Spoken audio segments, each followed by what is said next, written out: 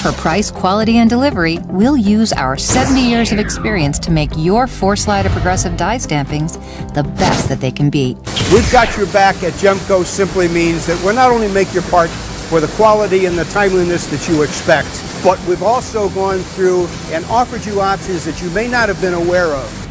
This is above quality and above price. This is just working towards our goal of customer satisfaction, having fantastic product out there so you come back and have us service you again. We've got your back because we're doing those things for you behind the scenes.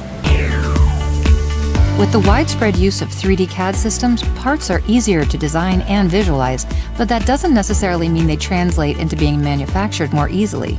That's where we help out well-designed component, a well-built tool is going to produce you a high-quality part. So if I'm looking at the customer's print and there's an area where I can improve it and lower its cost, then that's something that Gemco can do for you. The design team and the tooling department are integral to everything happening here. We have a state-of-the-art wire EDM center, which lowers the cost of your tooling while creating accuracy. So we use uh, Charmilles Technologies, which is we consider to be the top of the line in wire EDM cuts the shape, whether it be a die or a punch, male or female, and that's what's used to uh, manufacture the precision tooling that we require.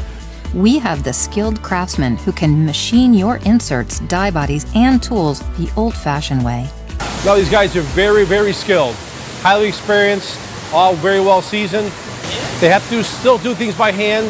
Uh, we go back to the wire machine after for some of the more precision work, but the bulk work where you have to make holders, we have to make dies, upper and lower halves, that stuff needs to be machined here. We're gonna make it better, we're gonna make it faster, we're gonna help you with a better design. At Gemco, we've got your back.